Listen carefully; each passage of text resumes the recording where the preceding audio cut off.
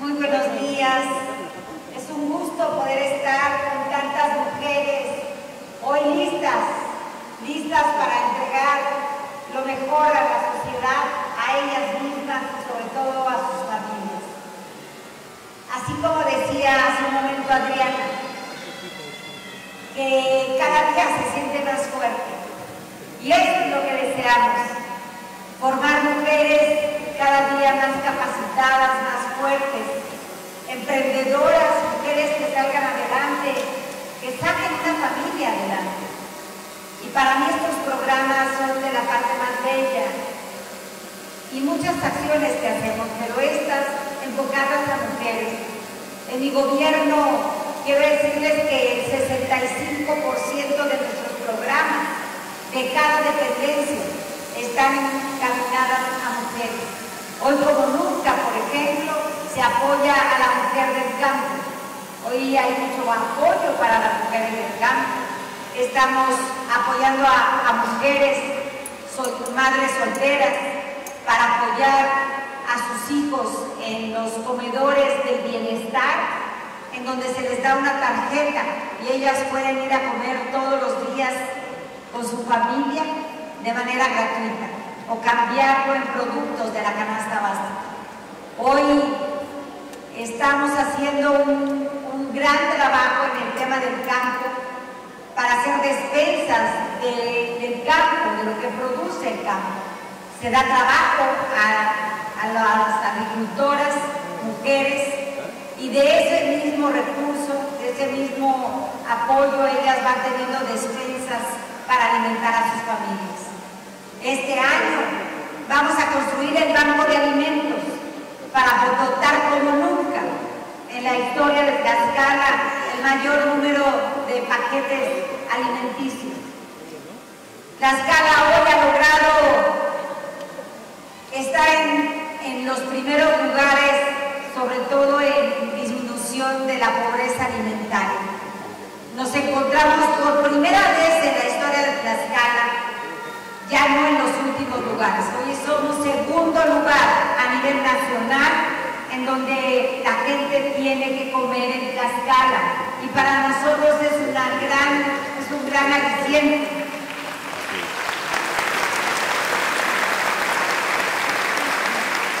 Saber que llevamos alimento también a miles y miles de hogares, pero también estamos apoyando a miles y miles de hogares que no tenían agua, que no tenían luz, a mujeres que a lo mejor habían perdido una pierna, que necesitaban una prótesis, una silla de ruedas, unos lentes, en fin.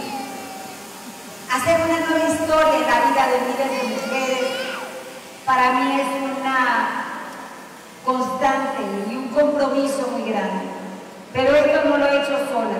Quiero agradecerle al DIF, a todo el equipo del DIF, a Mariana Espinosa de los Monteros, a Flor, por todo su amor, su dedicación, porque aquí se necesita eso, amor, amor a lo que hacemos todos los días para tomarlas de la mano y caminar a su lado. Gracias a todos, gracias al DIF por todo su apoyo.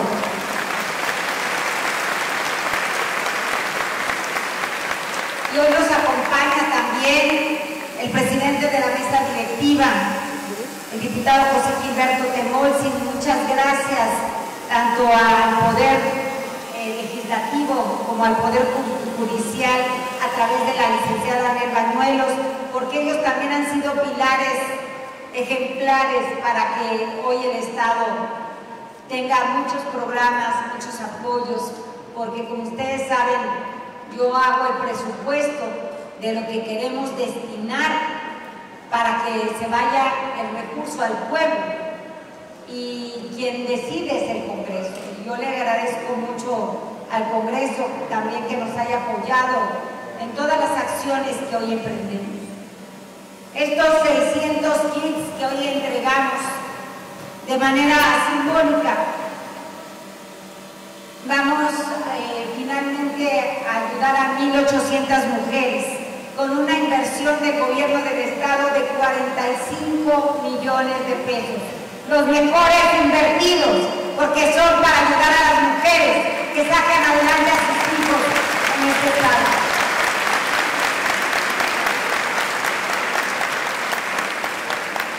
Yo sé que para estar aquí ya tuvieron que pasar por un camino. Se capacitaron, tuvieron muchas reuniones, irlas preparando mentalmente, psicológicamente, financieramente, de tal manera que hoy tengan las herramientas también para que ese negocio que emprendan sea un negocio exitoso. Pero también depende de nosotras, de nuestra actitud, de cómo emprendemos la vida para poder lograr que eso se devuelva. Y en un, un ejemplo tan claro, si ustedes van al mercado el fin de semana, seguramente se dan cuenta cómo hay una, una, mujer sobre todo, que es la que tiene mucha gente. Y hay otras que casi no tienen gente. Porque esa, esa mujer atrae a todos. ¿Qué magia tiene esa mujer para lograr vender tanto y ser una gran eh, emprendedora exitosa? Su actitud, la actitud lo dice todo. Desde el momento que recibimos al cliente, desde la sonrisa, desde creernos que vamos a ser exitosas, desde ese momento ustedes atraen a la clientela. Y lo mismo pasa en cada uno de, los, de lo que ustedes hacen. Ya de entrada ustedes son exitosas porque pensaron qué querían hacer de su vida. Algunas poner un kit de belleza o no sé, una panadería o lo que sea. Y desde ese momento ustedes ya tenían un sueño, un sueño que hoy ya es una realidad. Ahora que tienen que pensar que ese negocio, que eso que emprenden, va a ser grande. Tienen que pensar en grande. De aquí, de muchas de ustedes, quiero decirles que hay mujeres que ya tienen negocios grandes, que ya venden inclusive hasta Estados Unidos. ¿Por qué no pensaron en cortito? Pensaron a lo. Y así es como tenemos que pensar las mujeres. Las mujeres que queremos salir adelante en lo que sea, quiero decirles que es posible. Les platico el sueño de Gaby y con eso quiero terminar. Gaby es una compañera mía, una compañera que se formó conmigo. Ella es es todavía, es estilista. Y me platicaba que era muy difícil porque era madre soltera y que era casi imposible salir adelante, en fin. Y le dije, estudia, métete a estudiar, no pienses que no puedes. Y me decía, es que yo no tengo los recursos para estudiar. Si tú dices un no, va a ser no y no vas a poderlo lograr. Hoy Gaby es abogada. Gaby pensaba en una casa, soñaba en una casa. Hoy Gaby tiene su casa. Soñaba en un coche y hoy Gaby tiene su coche. Gaby soñaba con tener un buen puesto. Gaby fue conmigo la titular del Instituto, eh, Instituto para, para, de Justicia para las Mujeres.